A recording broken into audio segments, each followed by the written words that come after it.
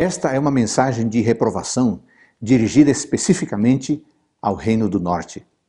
Efraim seria castigado por seu orgulho e embriaguez. O orgulho o havia levado a ser independente de Deus, e a embriaguez o levara a desprezar suas orientações.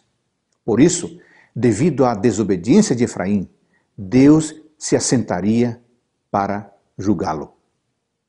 O capítulo menciona uma tremenda negligência dos líderes do povo nos versos 8 e 9. Líderes e povo estavam contaminados, literalmente e espiritualmente.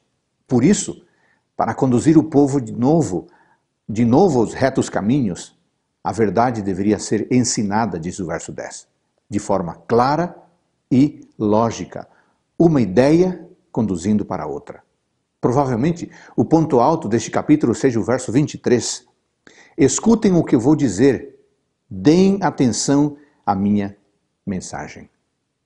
Não há nada mais devastador para os filhos e filhas de Deus do que não ouvir as palavras de quem sabe o que é melhor para nós, o nosso Pai Celestial. Neste dia, ouça a voz de Deus e viva a vontade do Pai Celestial.